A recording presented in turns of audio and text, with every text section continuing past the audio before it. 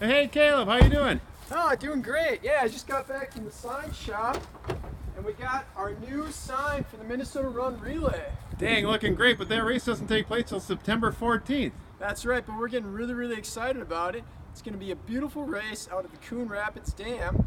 You get your team of two to five together to run a total of 26.2 miles, or you can run it solo. You can do a full marathon by yourself or as a team. That's right. It's an awesome five mile loop, and then the final loop is 1.2, which gets you to the 26.2 mile distance.